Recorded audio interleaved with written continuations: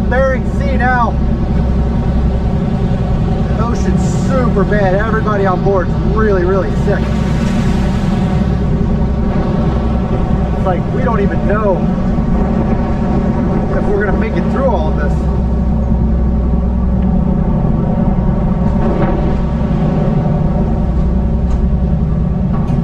Oh wait, here's Triple H now. Triple H, tell us about what you think about these seas. I, I think they're rough, but they're not that rough. It's not harder than these streets out here, and I think that they're going to be nothing compared to SummerSlam.